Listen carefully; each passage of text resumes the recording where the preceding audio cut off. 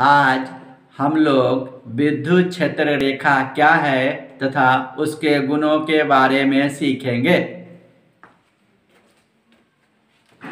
विद्युत क्षेत्र रेखा क्या है? विद्युत क्षेत्र में धन आवेश जिस स्वतंत्र पथ पर गमन करता है, उसे विद्युत क्षेत्र रेखा कहते हैं। उसी का दूसरा परिभाषा या करके दिया गया, वैसा काल्पनिक वक्र जिससे होकर कोई धन आवेश गमन करता है, उसे विद्युत क्षेत्र रेखा कहते हैं।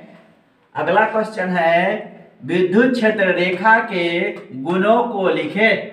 गुण निम्नलिखित है, नंबर एक में विद्युत क्षेत्र रेखा धन आवेश से उत्पन्न होती है और ऋण आवेश पर समाप्त होती है।